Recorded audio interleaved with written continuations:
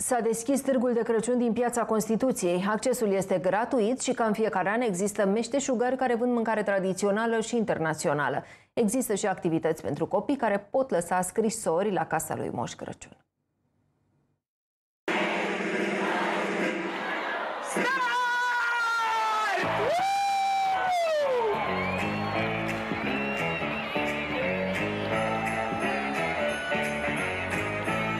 În prezența a sute de oameni, iluminatul festiv la târgul din Piața Constituției a fost aprins de trei elevi medaliați cu aur la Olimpiada Internațională de Matematică. Târgul îi așteaptă pe bucureșteni în fiecare zi până în 26 decembrie. Există alte activități pentru copii, există ca în fiecare an meșteșugari care vând diverse lucruri, există mâncare și tradițională și internațională, e un loc în care oamenii se simt bine, suntem bucuroși. Ce bucate tradiționale ați vrea să încercați în seara aceasta?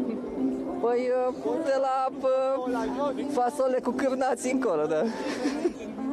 Edilul Capitalei a dat și câteva detalii despre beculețele puse pe bulevardele principale. Nu mai suntem la nivelul 2018-2019 pentru că încercăm să facem un echilibru bugetar, dar mult mai multe decât anul trecut. Adică anul trecut am pus, le-am pus doar pe cele pe care le, le aveam deja cumpărate și am plătit doar cam 2 milioane de lei pe instalare. Anul ăsta am pus tot așa vreo 2 milioane și ceva pe instalare și încă 5 milioane pe cumpărare apărare și deci o să fie mult mai multe decât anul trecut, dar nu trecem măsură.